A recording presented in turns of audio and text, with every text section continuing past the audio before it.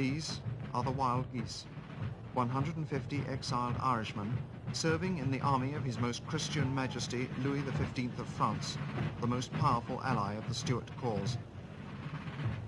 Brigadier General Walter Stapleton, Commander, Irish Pickets of the French Army. Yes, we're here because Prince Charles is a Catholic.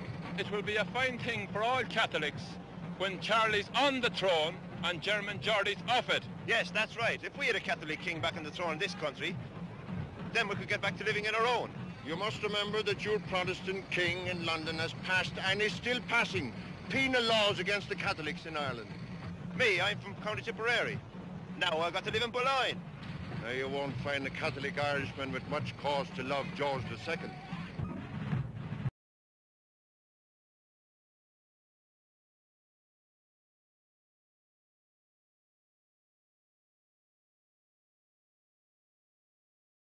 Zu werfen. 158. The MacDonalds, dismayed at the sight of the advancing cavalry, themselves draw back. Keppoch, one of their leaders, runs forward with other clan officers to encourage them and is shot through twice by musket ball. About him, his men turn and run. Time, 1.59 p.m. The rout of the Highland Army begins. They're leaving the field except for two small units. One of these units, the French and the Irish. The French and the Irish.